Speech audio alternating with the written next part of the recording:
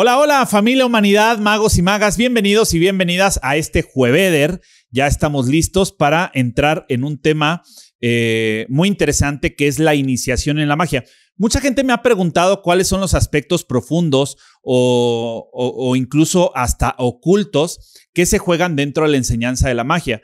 Y hemos escuchado, o mucha gente ha escuchado, el término iniciación, de dónde viene, cómo surge y cómo se aterriza el principio de iniciación dentro de la enseñanza de la magia.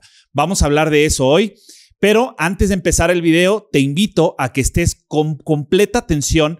Si hay algo que de pronto no vas captando, puedes parar el video, puedes repetirlo y cada vez que quieras regresar a una enseñanza de la magia, te invito a que este video lo guardes en tus favoritos y lo repitas cada vez que sea necesario.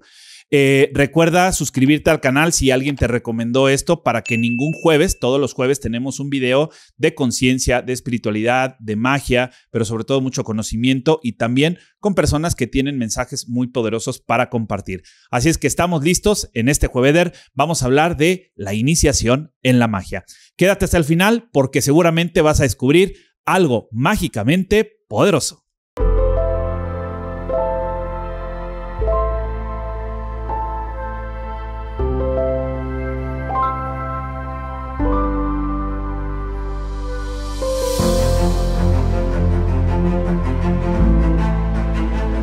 Vamos a entrar en materia, la iniciación en la magia.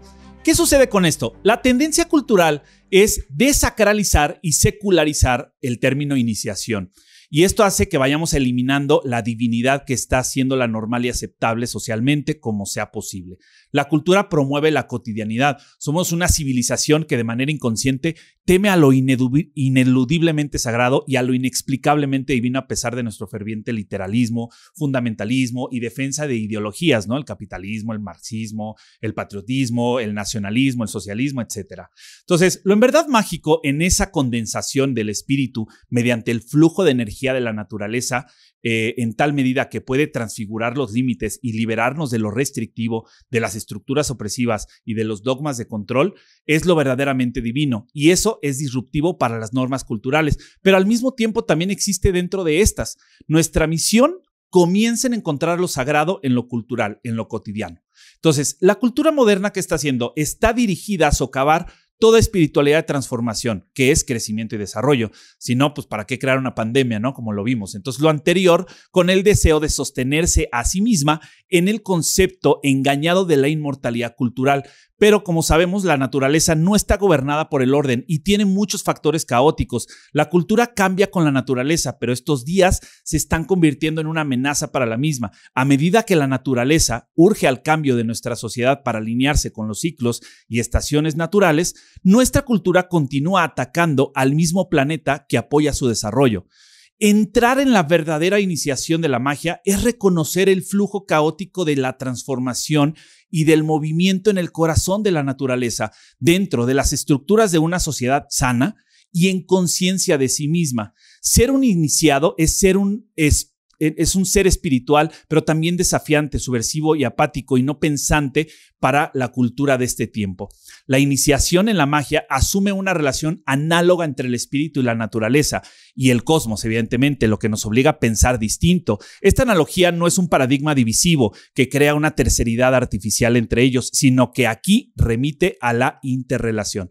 La infusión del espíritu en la naturaleza, la naturaleza en el cosmos, el cosmos en el espíritu, el cosmos en la naturaleza, la naturaleza en el espíritu y el espíritu en el cosmos, ¿no?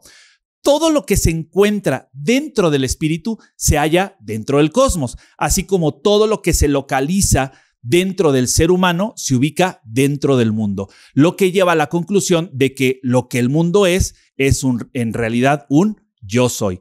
Si creemos querer estar seguros de detectar todas las probabilidades en un estímulo de ideas, corremos el riesgo de representar un caos elevado de falsas alarmas en nuestro intento por alcanzar el mayor número de aciertos. Entonces, si hará menester recorrer el camino que impone la exigencia de un orden o de ordenar nuestra mente a través de un sendero de sabiduría que aporte orden, donde sin duda previamente tuvo que reconocerse que había un caos, porque aquello que no se puede reconocer no se puede transformar. Esto nos ayuda a tener claridad en lo que de verdad se desea obtener de aquella idea de lo que creemos querer. Así es que te invito a que profundices en todos los temas que tienen que ver con la cuestión de la magia, con todo lo que nos acompaña acerca del universo, del cosmos, de la naturaleza y cómo todo esto nos viene acompañando y nos viene constituyendo en nuestra vida cotidiana. Iniciarse en el camino de la magia al principio puede parecer un camino completamente caótico, pero conforme vas avanzando te vas dando cuenta que todo va entrando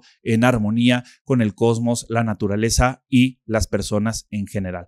Te mando un fuerte abrazo, mucho amor, muchas bendiciones. Les recuerdo, arroba 11 Edercampos en todas las redes sociales. Déjame aquí abajo en los comentarios qué descubriste y de qué te diste cuenta y si surge algo como tu pensamiento o tu opinión. ¿Qué piensas al respecto? Me gustaría leerte y escuchar tu punto de vista. Nos vemos en el próximo jueves. Que pasen un maravilloso fin de semana y les mando un fuerte abrazo, mucho amor, muchas bendiciones, pero sobre todo mucha magia. Que la magia te acompañe. Chao, chao.